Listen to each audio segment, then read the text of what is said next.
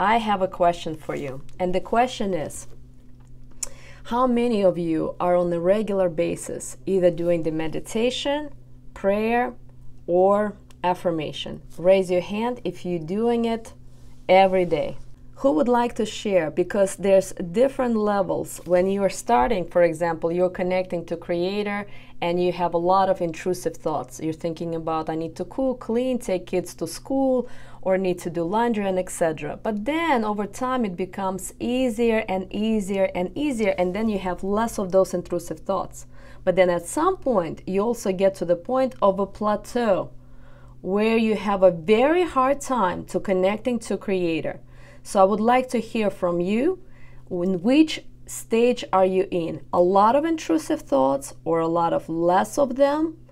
And you're connecting with ease, or you're in a plateau where it's very hard to connect to Him and you're kind of in a space of nothingness. So, who would like to share? I definitely feel like I'm in a plateau. Okay, got it. Thank you.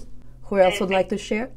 I think I even stopped meditating at night because I was trying to incorporate both and I felt like it was too much for me. So I'm consistent with the morning, but not at night. Clear. Thank you, Gabriela, for sharing.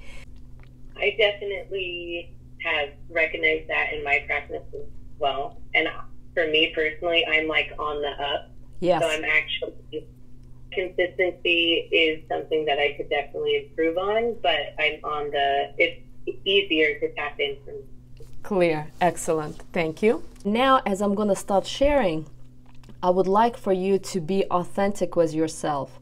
One thing could be that you're on a plateau, but second thing could be that your intention to connect to the creator is not there. And these are two different things, okay?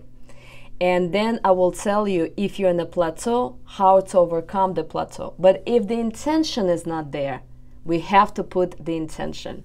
So now I would like for us to start masterclass how first topic will be how to pray properly. First we have to recognize that as a human beings we don't know how to connect to a higher power. The moment we slow down, we start thinking how you need to cook, clean, um, take care of the house, pay the bills, uh, send emails, go to work, make a coffee, and etc. Our mind is busy and is not tuned to a holy person because we don't understand the value of a holy person. What a holy person, I mean, for some of you, it's going to be Allah, to some, it's going to be Jesus, to some, it's going to be Buddha or Krishna. We see the value in cleaning, cooking, paying bills, and raising kids. That's what we have in our head. To get rid of this illusion that prayer or meditation is not very important, you must listen to a voice who knows that it is important.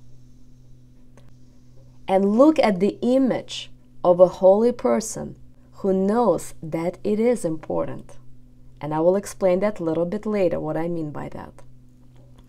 And if you have to repeat a mantra, prayer, or meditation that is closer to your heart, for example, some of you know that you believe in Allah, that means it has to be Allah. Some of you know that it is Jesus, then it is Jesus.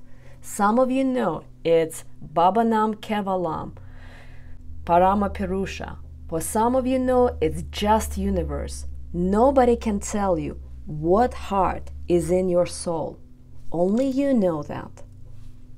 You don't need to use someone else, shares or breakthroughs in your spiritual path. You don't need to make it up because again, each one of you know who do you need to pray or meditate to. And God will respond or creator will respond to that. But if you're trying to figure out is it universe or Allah or Jesus, you're not really connecting to your soul because the answers are in your soul. And Creator is really extraordinary because He can solve any problem, any problems that you have with everyone or one person or two person and it will benefit everyone. And you would have never thought of that kind of a solution by yourself. And you must know that when a person prays peace love and happiness comes to your heart that's why prayer is necessary absolutely necessary in your life you must understand that if you don't tune to god and if you will not serve people and your loved ones and the society, and you're just repeating the mantra Baba Nam Kevalam or Jesus uh, great or Allah is great, you are just wasting time. And it's just a pointless mantra or affirmation. Because our Creator wants more than anything from us is to connect to Him and serve others. He is not selfish. And the more you serve others, the more He wants to take care of you. Any questions so far? Not yet. Okay. I think it's interesting the serve others part because what I find for myself is that, I want to choose who I serve, but God has already chosen who I need to serve. Yes. yes. and I'm not, beautiful. I don't think I'm doing that. yes. Yes. I also have a girlfriend, and she said the same thing. God wants me to serve Ah, girls in, who gone through sex trafficking. She said, but I have no guts for it. I said, you don't have guts for it because you're not doing a prayer or meditation. And if you're using yourself, it's going to be impossible to be with the girls who've gone through sex trafficking. But if you're going to do the practices, you will have everything to help all the girls. And once you start doing that, things start to shift. And now she's helping over 200 girls in Atlanta and Florida area. Yeah. Yeah. That's so great. we cannot choose. You're absolutely right. To me, it was the hardest thing to recognize that I'm afraid of public speaking, but here I am, you know, publicly speaking, right? Because Creator chooses what I gotta do, not me. like I am just a therapist. I've been a therapist for 21 years. How can I share spirituality? But like, no, gotta wake up and share knowledge. We cannot choose, ladies. Any any other questions? The most important part in the prayer is connection to pu- purity and truth. How do we connect to Him? Let me explain. You connect to Him the same way you experience love. For example, um, you fell in love with a boy or with a man. You will find time to go date him, to answer his call, or to go on a date and you're gonna get dressed up, right? The same way you reach Creator and your God. Only through strong desire. Only this way. The same way you cry when you break up, the same way you cry when your child gets sick or you get worried, the same way you connect to Him. Not with your mind, but with your heart. Your mind has no access to Him, only your heart. And we should be straight with ourselves and each other. You can't resolve anything in life without His help. And when you reach out with this desire, help me, help me. And this is, by the way, the truth. We live fully under the trap of our karma. And if a person doesn't pray, it is very easy to see a person's destiny. Just look at the person's Vedic horoscope and you'll see a lot of drama, breakup, divorce, another boyfriend, another husband, and that's how life goes. But if you turn to Him and you get in tune to Him, that you can live life without karma because you're committing to choose to serve Him and in service of Him, you are then living a life being happy, being fulfilled, experiencing love, and most importantly, experiencing a person that He sends to you. Not you choosing a boyfriend or a husband, but He chooses a person to you because you dedicated your life to Him. And when you pray, your life becomes 1000% better than it could be otherwise. Some things will still stay in your life, but the meaning of it changes 100%. Again, you have to get a happy life only through connection to Him. Otherwise, everything it becomes like a game, the game that you see in a horoscope. Break up dating, break up dating, single life, unhappy, lonely, sad, and there's no vibrance and happiness that we're seeking. Because honestly, we're seeking the happiness through other people. We're thinking that boyfriend or a child will, a son or daughter will make me happy. But it never works this way. We truly want happiness, but it only comes from Him, from above. Any questions so far? When earlier, I, I can't remember who said it, but like it's easier to tap in and meditate when you're struggling and when you're going well. It's, that I think is what it is. Is that when I'm lost and I'm like, guide me. Yes. I'm like really quick turn to him, but when Yes. things are going and I'm making my own decisions, which is actually making the problems that I'm going to say, help me. with, Yes. I'm like, Samantha. And now when I address that since it's in the space. So 10 years ago when I started, I was doing uh, I wish everyone happiness mantra that we're gonna do a little bit later. And the way we're gonna do it, it's gonna help you to really powerfully connect to the creator. So I was doing it for eight to 10 months, something like that. And it was working well. And then 10 months later, around 10 months, I got to the plateau. And then there was nothing a week, a two, a three, and there's nothing. And if you still have this strong desire to connect to the Creator, the signal is the mantra stop working because Creator wants you to grow more. And so I start reading spiritual books. And then it naturally became that I started to pray. And so for two years, I was experiencing really high because I'm studying books, I'm praying, and it was powerful. But guess what happened after two years? Yes, another plateau, nothingness. A week, two, and three, and then my gut feeling told me that I need something even more. And that's when I started to learn about meditation. I was learning meditation. I started meditating. It took quite some time because it was a different spiritual technique. And then I started experiencing this high. Right? And then guess what happened? Aha. Uh-huh. And that's what I'm going to share. So, three and a half weeks ago, no, actually, four weeks ago, I reached the plateau. And then I thought, okay, what do I do now?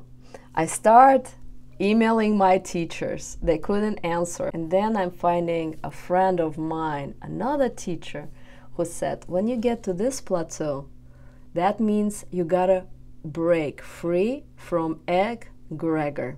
And now I will share this, even though some of you might not need it in your spiritual journey, but I still would like to share, okay? So imagine that this is the mountain. Okay? This is the mountain. And when we start our spiritual journey, sometimes we need either religion or technique to start climbing up. So basically, you jump on the taxi this is a taxi. Not very pretty one but you're jumping on the taxi and the taxi is starting to take you to this level. And you're growing spiritually. But at some point here you are getting stuck on the plateau. And when you get stuck on the plateau it's time to do what You have to jump to the next level. Exactly. And so I was jumping from one taxi or Uber to another, from one to another to continue to grow. But if you get through prayer and meditation and mantra and you're still on a plateau, what do you do then? Because that's what was my dilemma four weeks ago What can I do if I'm stuck? Uh, maybe come up with your own. Okay, Start and creating your own. and if you come out, what's next? I will serve other more, so try to go up. Well, that what was my dilemma. I mean, I reach a Vedic mantra here, a yoga mantra here. My heart is not calling to do Muslim faith or Christian faith. Everything that my heart desired, I reach. So what's then? I'm in a plateau. Surrendering to God and being like, God, what do you want me to do? hmm And so that's where I went to a spiritual retreat three weeks ago in Turkey.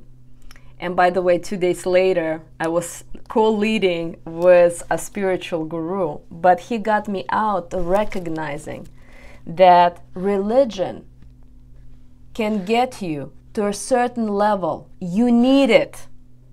But then afterwards, it's not going to get you to the top of the mountain. And then the question, why not? Um, be kind of because it it's almost like baby steps for you to take your own. Go exploring for yourself. Yes, and how would that look like? Gosh, I don't know. How can you jump out of this bus and recognize that the faith cannot longer take you to the top of the mountain? How? What can you do? That's where I was. What's next? Right? Yeah, and I'll share. Fully surrendering. And in full surrender, do you know what you see? That God is truly everywhere.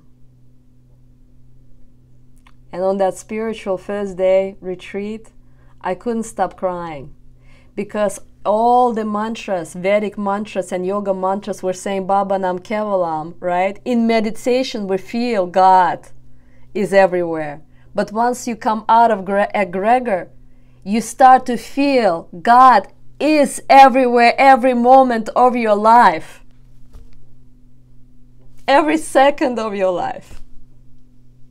Not during the prayer, not during the meditation but every conversation and every second and every moment, God is with you in each one, in every conversation. And then you're no longer in the box of this meditation or this prayer. You just feel Him all the time. And this is the most experience and most profound experience that you feel really joy and love all the time. Understanding, not understanding, feeling, feeling His love, feeling His presence. What's present with you? Yes, but what's present with you?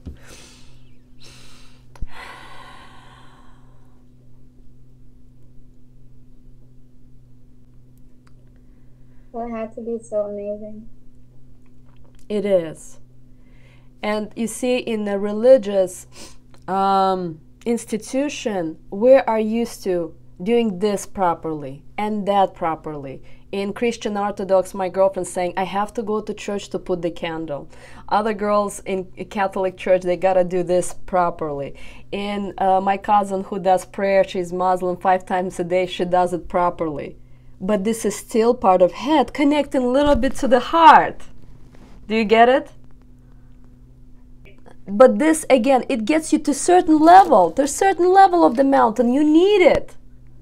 But it's not gonna get you to the peak. And that's what Creator wants for us to reach the peak. Because at this point, I can wake up and not do Baba Nam Kevalam. I don't have to do the prayer. I can just say, I wish, love everyone, or I am grateful to you, or I can say anything and I'm still connected to Him. There's no need for that rituals and that discipline because you're already out of that egregor. But I will explain even more because I had a debate with a spiritual teacher on that retreat. I said, okay, let's say hypothetically, a person doesn't choose to jump on the taxi or Uber to get to this level, this and that level, or just one level. How can they reach the peak? Are you curious?